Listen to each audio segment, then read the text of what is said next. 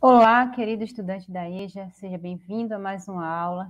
Eu espero que você esteja bem, esteja aí se cuidando, cuidando da sua família, utilizando a máscara, o álcool, né, em gel, higienizando suas mãos e tomando todos os cuidados que precisam ser redobrados nesse momento em que nós estamos vivendo. E eu acredito que você já esteja aí com o seu com seu cantinho de estudos preparado, seu material aí também já preparado, para que a gente possa começar a nossa aula, que vai ser agora. Nossa aula de hoje, nossa aula de ciências, já está começando e quero trazer para você uma mensagem que nós sempre temos esse momento de reflexão.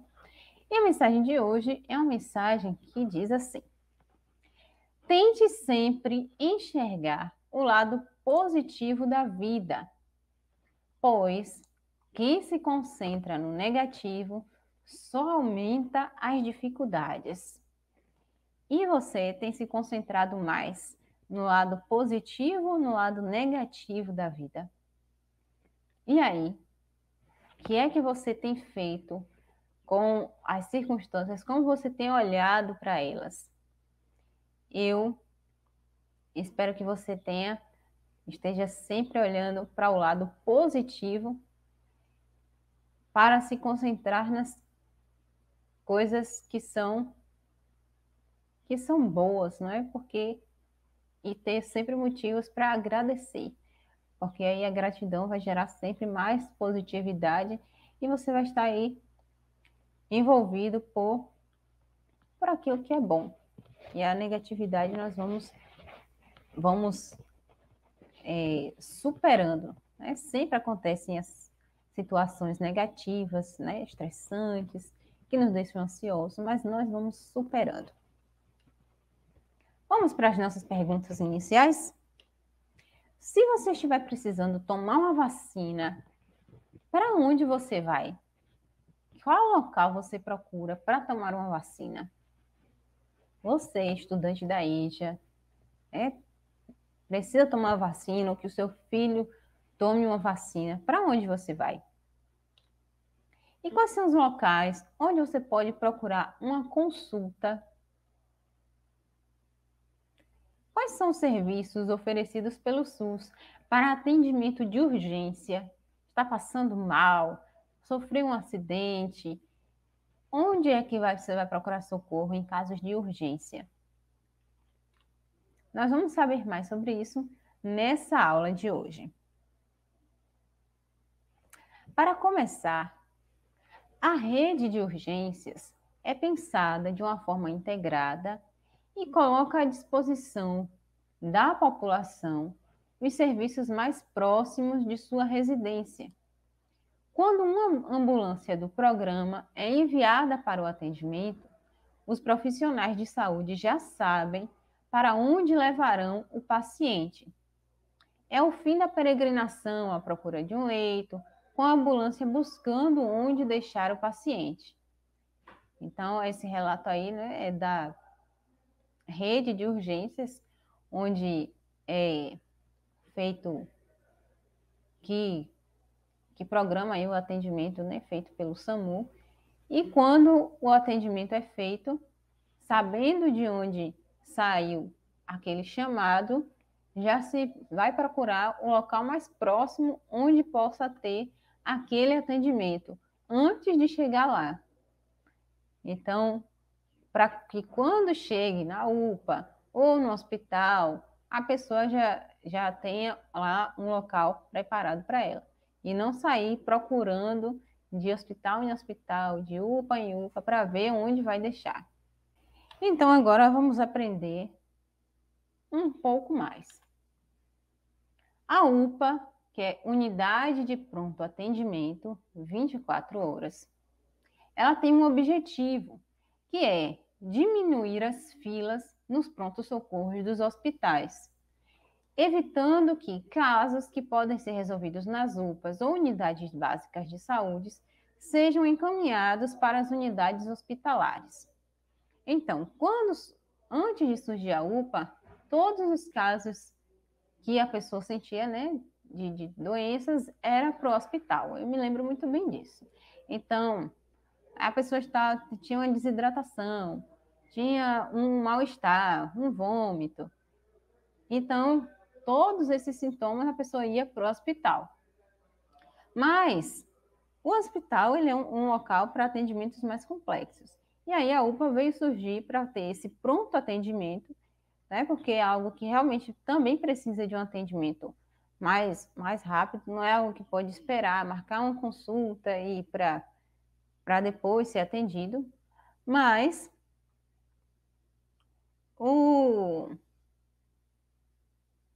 o local mais adequado para fazer esse atendimento né, e diminuir as filas nos hospitais é a UPA.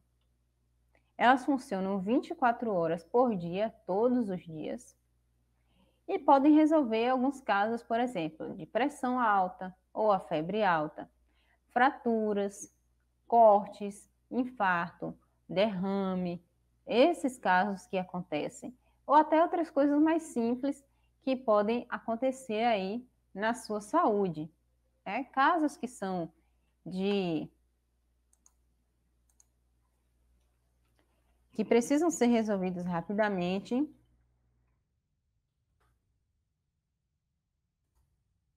Precisam ser resolvidos rapidamente. Mas, nesse caso, é um caso de urgência, mas que não, não é de emergência, né? Urgência é uma coisa que precisa ser resolvido, resolvido, resolvido rápido, mas emergência é quando tem risco de morte. São os casos de urgência que precisa ser resolvido rápido, né? De acordo com a faixa de urgência, alguns são mais prioritários do que outros, podem ser resolvidos também na UPA. E elas têm estruturas para fazer raio-x, eletrocardiograma, pediatria, alguns têm laboratórios de exame, tem leitos de observação. Nós também podemos ter sala vermelha, em alguns, né, que tem aquele atendimento mais para a pessoa que já está com a saúde mais debilitada e precisa ficar numa observação com oxigênio, precisa ter monitoração cardíaca, também tem essas estruturas na UPA.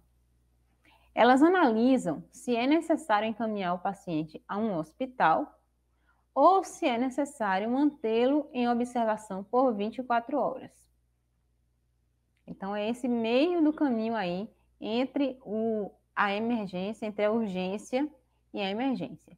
Se entrar em emergência, que é o risco de vida, então aí é melhor encaminhar para um hospital que tem mais, mais estrutura para atender. O Serviço de Atendimento Móvel às Urgências, o SAMU 192, é esse, esse serviço. Ao discar o número 192, o cidadão estará ligando para uma central de regulação que conta com profissionais de saúde e médicos treinados para dar orientações de primeiros socorros por telefone. Então, às vezes, não precisa nem a ambulância chegar aí, lá na casa da pessoa. Por telefone mesmo, ela pode dar as orientações para a pessoa resolver aquele problema. E são estes profissionais que definem o tipo de atendimento, a ambulância e a equipe adequada para cada caso. Há situações em que basta uma orientação por telefone. Atende pacientes na residência, no local de trabalho, na via pública, ou seja, através do telefone 192, o atendimento chega ao usuário onde ele estiver. A SAMU 192 e a UPA 24 horas trabalham integradas no atendimento a urgências e emergências. Então, a ligação para a SAMU precisa ser de algo que está acontecendo com urgência ou emergência, que é o risco de vida. E aí fica o alerta para a questão dos trotes. Vocês que são pais ou mães, né, que já são alunos adultos, é bom alertar os seus filhos para essas questões, né? observar se isso está acontecendo, porque isso era muito comum, mais comum antigamente, mas hoje também pode acontecer. Né? Alguém que está precisando pode deixar de ter atendimento porque a linha está ocupada com alguém que está tendo trote, né? está passando trote. E aí, por exemplo, a pessoa está passando mal, tomou um remédio errado, e aí está sentindo, está se sentindo mal, ligou para o SAMU. O, o, médico que atendeu, a, a, equipe que atendeu, pode dar orientação do que a pessoa fazer, do que a pessoa pode fazer. Olha, fulano desmaiou aqui, desmaiou na minha casa. Aí o médico dá orientação do que fazer, a pessoa pode até recobrar a consciência e não precisar realmente que a ambulância vá até a sua casa. Aí, então, essa orientação aí é dada pelos profissionais que atendem lá nessas, nesse serviço de atendimento. É um serviço muito necessário e que precisa ser, é, precisa ter a sua devida valorização aí na sociedade. A unidade básica de saúde, também chamada de UBS, ela é conhecida também como posto de saúde ou centro de saúde. Essas são as que estão espalhadas aí pelos nossos bairros e são mais próximas às nossas casas. Elas realizam exames, consultas, né, marcação de exames e consultas, acompanhamento médico, entrega de medicamentos, troca de curativos, aplicação de vacinas, todos esses cuidados que não são de urgência e que podem ser marcados. Né? Você tem uma, uma vacina para ser aplicada, tem um curativo para ser trocado. Então, a equipe de médicos enfermeiros, né, principalmente enfermeiros e técnicos de enfermagem, está lá para ter esse cuidado. É uma unidade básica de saúde. Então, são cuidados básicos de saúde. Os primeiros cuidados. Hum, algumas unidades contam também com atendimento psicológico, com nutricionista, com dentista, que são esses são os cuidados realmente básicos que podem é, atender a saúde da pessoa para que ela não precise chegar a ter uma urgência. E é indicado ir para uma unidade básica de saúde se você tiver com sintomas leves de gripe, tontura, dor abdominal, mal-estar, diarreia ou vômito, conjuntivite. E além disso, elas fazem também o tratamento e o acompanhamento de infecções sexualmente transmissíveis. Caso for algo de emergência, o paciente vai ser encaminhado para a UPA ou o hospital. Então, na unidade básica de saúde, você tendo esses sintomas leves, mas se eles perceberem que é algo de emergência, eles vão te encaminhar para a UPA ou para o hospital. Mas se for algo que pode ser tratado ali, né, pode ser passado um medicamento, é, resolvido ali, mesmo na unidade básica de saúde, né, na UBS, então ali mesmo vai ser tratado. Então, esses, esse é o local onde também se faz a marcação de exames, né? Você precisa de uma consulta com o otorrino, com o neurologista, é, precisa fazer um raio-x, uma ultrassom, um exame de sangue. Você vai até essa unidade básica de saúde, que é o local onde vai ser dadas orientações e feitas essas marcações de exames e do consultas.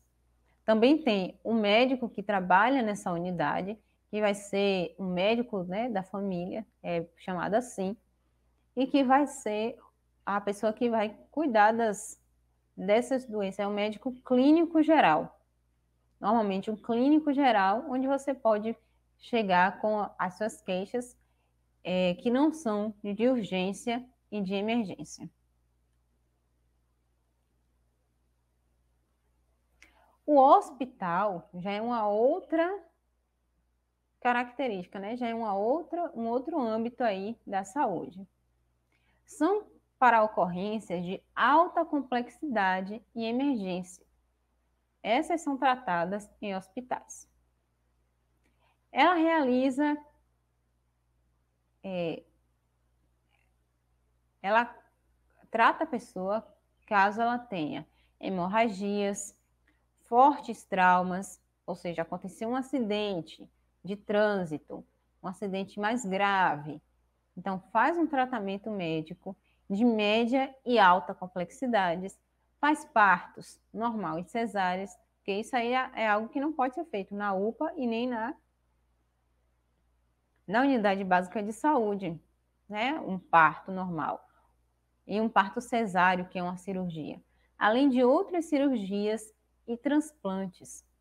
Nesses locais, que são os hospitais, eles contam com a estrutura, aparelhos e exames que são mais complexos e que dão um resultado mais rápido, né? já que a pessoa chega lá com um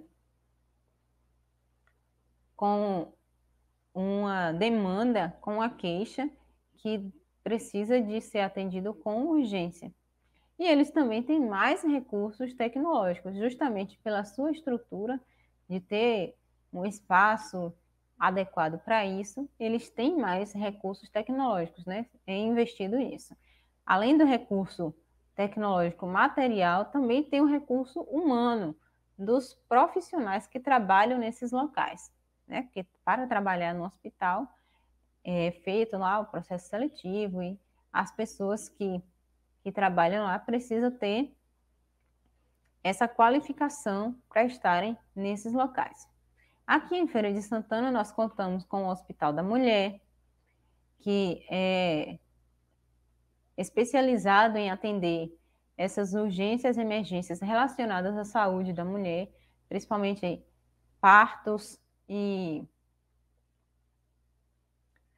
partos e outras urgências, né, hemorragias, ou algo que tem a ver com o ciclo menstrual e o período, é, o ciclo menstrual feminino e a saúde íntima feminina.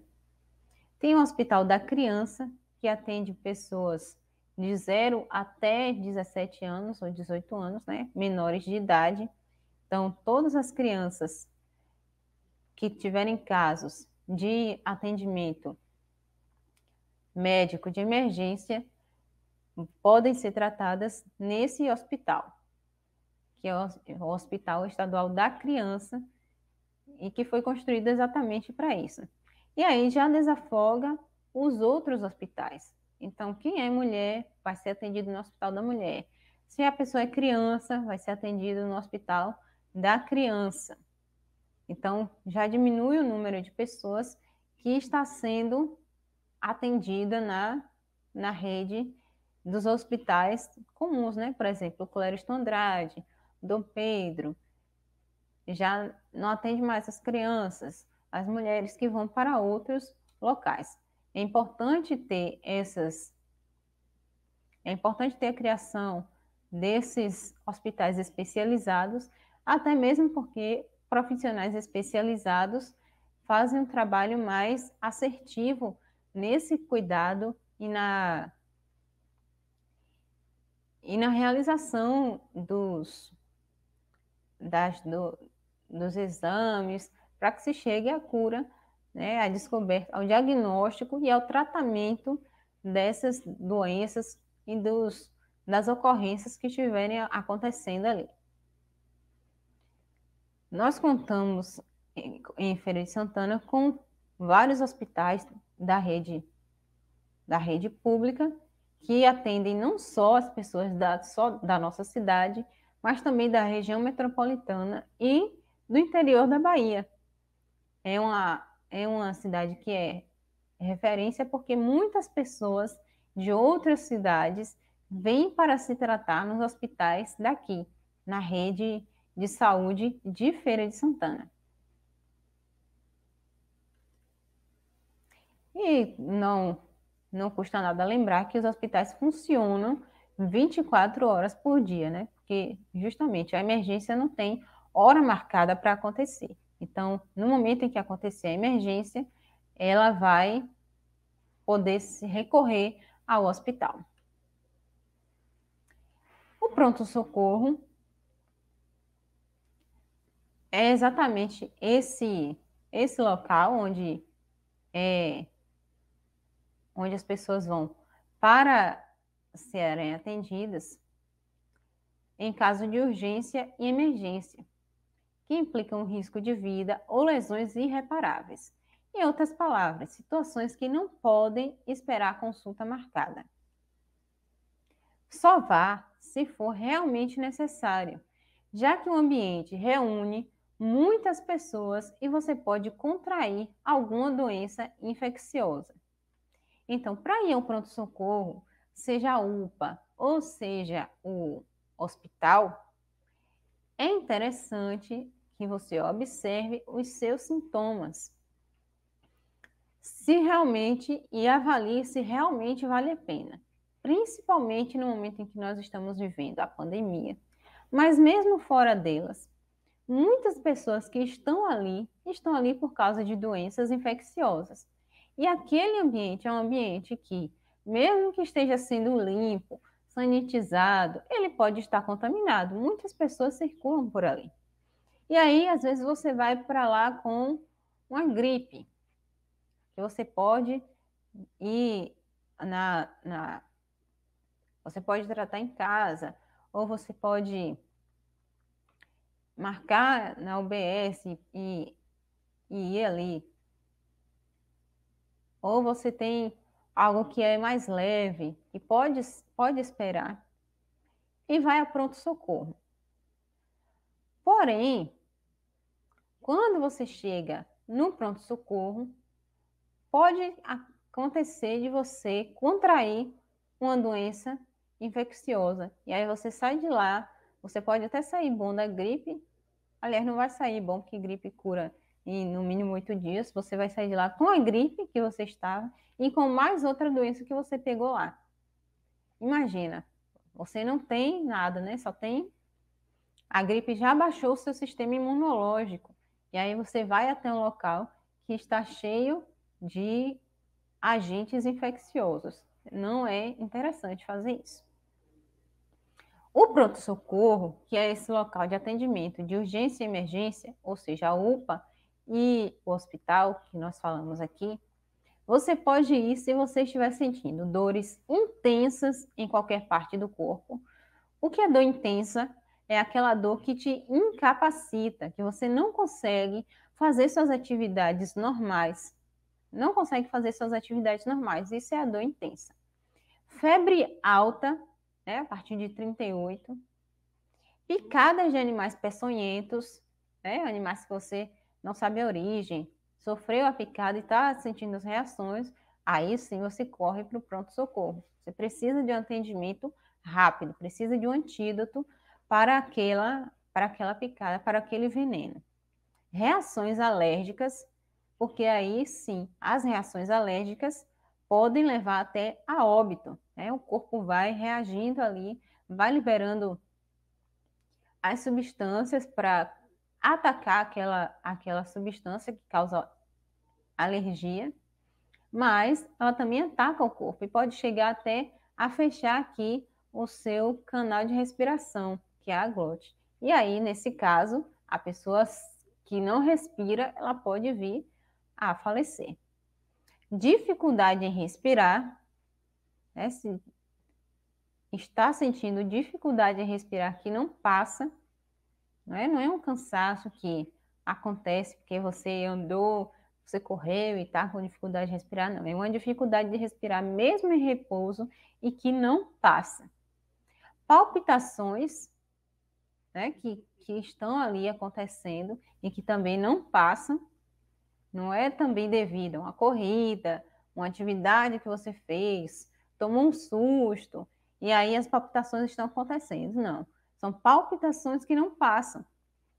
Ela está ali acontecendo sem motivo nenhum e, e o coração está ali palpitando. Isso aí pode ser um sinal de, de que o seu coração está com, com algum problema grave e urgente. E além de traumas e lesões, isso aí não precisa nem falar, não é? Ossos quebrados, a pessoa já vai sentir dor intensa e outras reações que precisam ser, precisam de um pronto-socorro. Agora eu posso falar também das pessoas que podem estar sentindo tudo isso, ou alguns desses sintomas, e não querem procurar de jeito nenhum um hospital. Aí já é o outro extremo, né? Tem pessoas que por qualquer sintoma que estiverem sentindo, mesmo leves, procuram um hospital, procuram um pronto-socorro. Mas tem pessoas que, mesmo tendo sintomas graves, não procuram. Gente, sintomas graves podem indicar coisas graves e que, se não forem descobertas e tratadas precocemente, podem não só comprometer a sua vida mais para frente, como também podem levar ao, ao fim da vida. Então, a gente não pode também ser no extremo de estar todos os dias indo para o pronto-socorro, sem necessidade. É lógico que se houver necessidade, né? Você que sabe da, do, seu, do, que, da, do que você está sentindo. Mas não tá, está indo sem necessidade. Mas também não pode ser ter a necessidade e não ir. Tem pessoas que, por exemplo, sofreu um acidente, caiu da moto, está ali sentindo a dor e não vai procurar um pronto-socorro né, para ver se não quebrou um osso, se não saiu nada do lugar, teve uma luxação, não.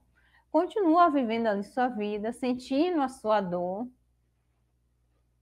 deixando de fazer suas atividades que, que poderia fazer por causa daquele trauma, daquela lesão que sofreu e não procura um hospital. Né? Sentindo dor. Às vezes tem gente que está sentindo dores fortes no abdômen, está tendo sangramento, tá, está tendo várias coisas e não procura um médico. Tanto o pronto-socorro quanto a marcação de consultas ou exames, qualquer coisa que você sentir no seu corpo, é melhor procurar e saber do que se trata antes, não é verdade? Então, essas são as, as formas que você pode procurar socorro aí, seja em casos mais leves ou mais graves nós aprendemos um pouco mais como devemos cuidar da nossa saúde e para onde devemos ir caso ocorra uma emergência. Cuidar de si é algo bem sério, então não pense duas vezes caso precisar ir a uma consulta. Mais uma vez eu falo. Divulgue os seus conhecimentos com amigos e familiares, porque todos precisam saber de informações úteis, não é verdade? Então, Fica com Deus. Muito obrigada por ficar comigo até aqui. Até a próxima aula. Tchau, tchau.